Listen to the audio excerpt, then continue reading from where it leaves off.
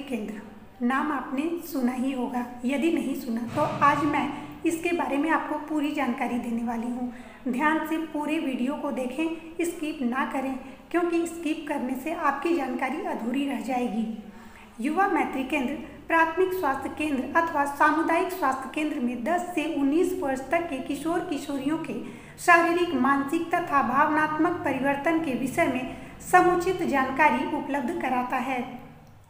इस उम्र में होने वाली बीमारी के निदान हेतु उचित मार्गदर्शन एवं समुचित रेफरल सुविधा उपलब्ध कराने के उद्देश्य से ये युवा मैत्री केंद्र खोले गए हैं।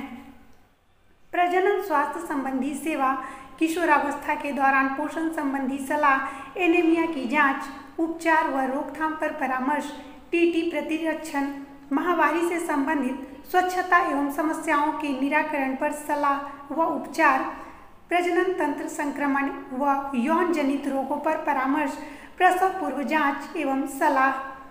गर्भ निरोधक संबंधी परामर्श, सुरक्षित गर्भपात हेतु मार्गदर्शन, समुचित रेफरल सेवा, विवाह की सही उम्र की जानकारी एवं परामर्श, अन्य रोगों एवं समस्याओं का मार्गदर्शन।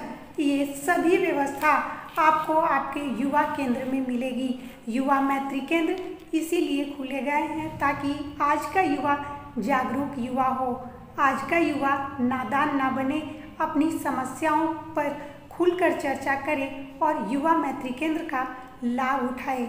इसी उद्देश्य से युवा मैत्री केंद्र खोले गए हैं।